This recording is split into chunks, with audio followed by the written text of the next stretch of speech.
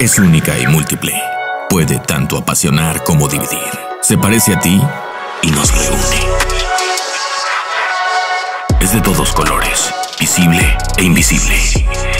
La radio es hoy por hoy el medio informativo más emblemático y dinámico, a pesar de los avances y nuevos sistemas de comunicación que han aparecido en este siglo. La radio es el medio interactivo que propicia el debate, la conciencia y une a tu comunidad. La radio tiene la ventaja de llegar a lugares remotos, que nunca es posible mediante el uso de otras tecnologías. 13 de febrero, Día Mundial de la Radio. Radio 13 Digital.